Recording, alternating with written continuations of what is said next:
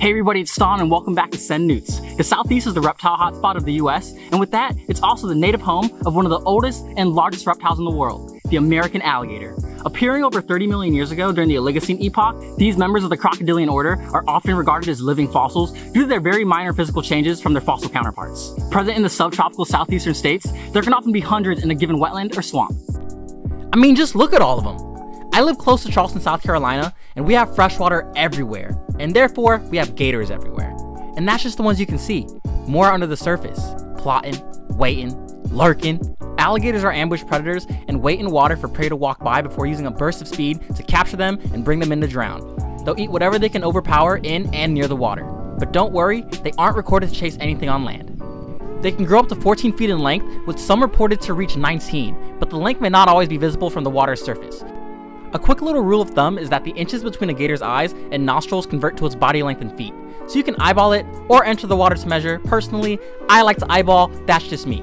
Gators also have an extremely powerful bite force, reaching over 2100 psi, which this individual displays here. You see the camera shake? Because that legitimately scared me. I was just sending a selfie to my mom, then I turned around, the gator sizing me up, my heart sank to my booty! To put into perspective how strong that bite is, the average human only generates 160 psi from their strongest bite.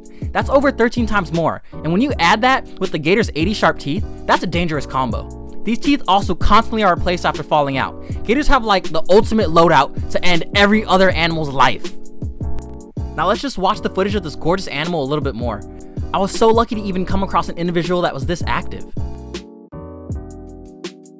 And alligators aren't just cool to look at, they're critical to the natural operations of their ecosystems. They create what are called gator holes, which are depressions in the land they excavate to stay cool, attract prey, and mate.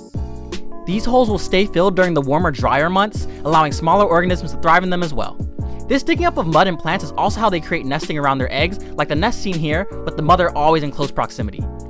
A cool thing about alligators is that the temperature determines their hatchling sex.